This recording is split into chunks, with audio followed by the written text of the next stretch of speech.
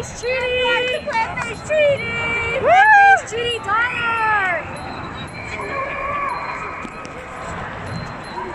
Hi, tell us why we're here. We are here because we are fighting for we are fighting for our climate. Climate change is a serious issue. Fossil fuels and animal agriculture are the two leading causes of climate change, and they need to change. We need food system change now.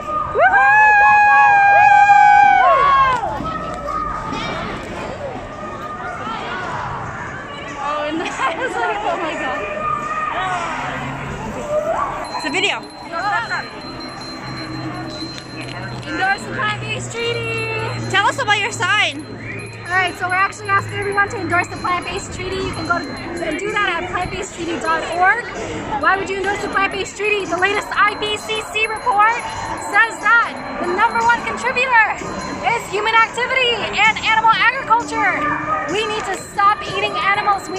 stop producing animals so we can eat them. All you have to do is switch to a plant-based diet. I recently quit five out of six medications by changing to a vegan diet. I can tell you're going to thrive on it. You can endorse it. Ask your government to endorse it too at plantbasedtreaty.org. I endorse